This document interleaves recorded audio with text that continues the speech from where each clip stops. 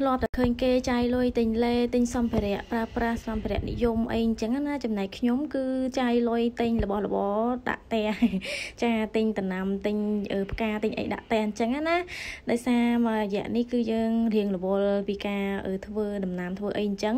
ហើយក៏លើហ្នឹងក៏ចាប់ផ្ដើមទិញផ្កាទិញអីទៀតហើយបងប្អូនហើយផ្កានេះគឺខ្ញុំដាំវគ្គមុនហ្នឹងគឺវារៀងតិចអញ្ចឹងហើយគឺខ្ញុំមកចាប់ផ្ដើមទិញថែម ចាដាំដាំផ្កាណាដែលថាអាយុវែងអញ្ចឹងមិនងាយងាប់ងាយអីអញ្ចឹងណាហើយយើងដាំហ្នឹងក៏អត់មានថាខ្លាចវាឆាប់ខូចឆាប់ងាប់អីដែរតែថាវាអាយុវាយូរចាហើយសម្រាប់ផ្កានេះ គឺជាដើមផ្កាពុតស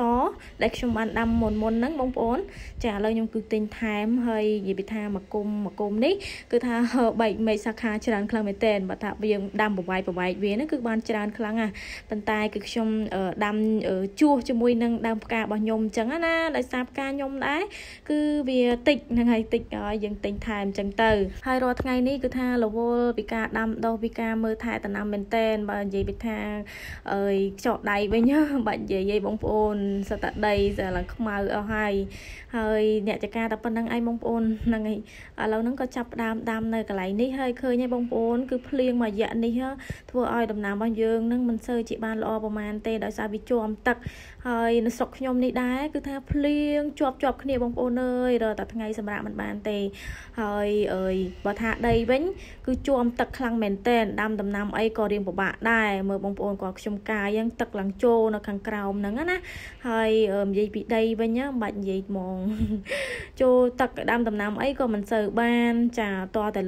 យើងលើកខ្ពស់ពីដីពីអីអញ្ចឹងណាហើយបើថាចង់ដាំដំណាំហូបវិញតតែដីខ្ពស់ហើយឬមួយក៏ដាក់ក្នុងផើងដាក់អីអញ្ចឹងទៅហើយនេះបងប្អូនមួយជោគទឹកខ្លាំងមែនតែនដីរបស់ខ្ញុំដាំចាហើយបកានេះគឺខ្ញុំប្រវែកវាដោយសារវាគុំធំធំអញ្ចឹងយើងប្រវែកវាពាក់កដាលហើយខ្ញុំដាំមកជួរនេះហើយអាជួរដែលថាខ្ញុំអើយដាំនេះបងប្អូនដាំជីដាំអីកន្លែងមកចំហៀងផ្ទះខាងនោះគឺខ្ញុំក៏បានកាយវាយកមកដាក់ដាំផ្កាដូចគ្នា ចាហើយនេះកន្លែងនេះបងប្អូនកន្លែងហ្នឹងគឺខ្ញុំបានបង្ហាញវីដេអូបងប្អូនមុនគឺយើងដាំជីដាំអីហ៎ឥឡូវហ្នឹងគឺកម្រងការគឺខ្ទេចអស់អាលេងហើយចាគ្រូសារបស់ខ្ញុំគាត់បានកាយយកមកដាំជាមួយនឹងផ្កាបងប្អូនដោយសារផ្កានេះគឺវាអាយុវាយូរហើយវាជួយលម្អផ្ទះយើងបានរហូតតែម្ដងណែអាជីដែលខ្ញុំបានដាំថ្ងៃមុនហ្នឹងគឺដកយកទៅដាក់ដាំកន្លែងផ្សេងបាត់អស់ហើយបងប្អូនអើយហើយឥឡូវហ្នឹងគឺគាត់បានដាំរួចរាល់ហើយ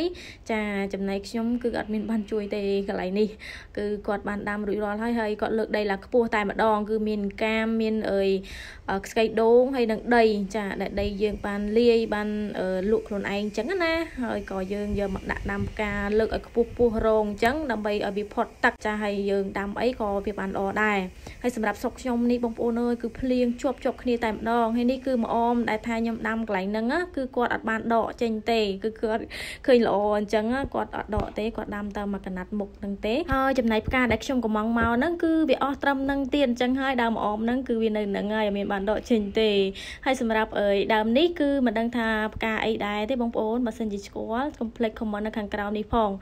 ចំពោះខ្ញុំគឺអត់ស្គាល់ទេស្គាល់តែដើមពុតសទេហើយសម្រាប់គ្រួសារខ្ញុំក៏គាត់អើយគាត់ថាដើមហ្នឹងគឺដើមតែតែខ្ញុំមិនដឹងច្បាស់ដែរអញ្ចឹងណាហើយសម្រាប់វីដេអូថ្ងៃនេះដែរគឺមានតែប៉ុណ្្នឹងទេអរគុណសម្រាប់បងប្អូនអរគ្នាចូលចិត្តតាមដានបាយបាយ